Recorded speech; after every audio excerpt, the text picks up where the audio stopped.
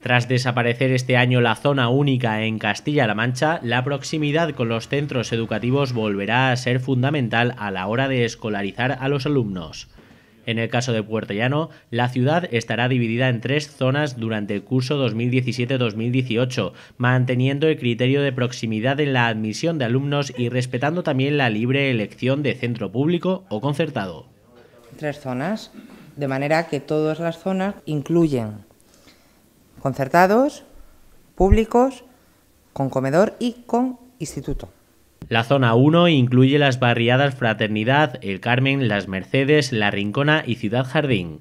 La zona 2, el Paseo de San Gregorio, barriadas de Santa Ana y el Poblado y calles del Centro Comercial Abierto. La zona 3, las barriadas Libertad y Constitución y parte del Poblado.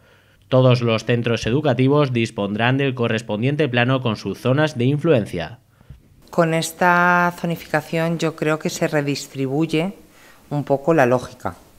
Es decir, los padres tienen capacidad de decisión, puedes elegir el centro, pero lo más lógico que esté en tu área de influencia. Las familias de Puerto Llano podrán presentar entre el 15 de febrero y el 15 de marzo las solicitudes para obtener una plaza en un centro docente público o concertado el próximo curso en el segundo ciclo de educación infantil, educación primaria, educación secundaria obligatoria y bachillerato. Esto no es un break, es una oportunidad.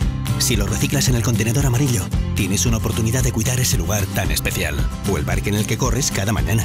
Y esta bandeja es una oportunidad de conservar la calita a la que huyes en verano. Reciclar es una oportunidad, porque el envase que no recicles tú no lo reciclará nadie. Ayuntamiento de Puerto Llano y Ecoembes.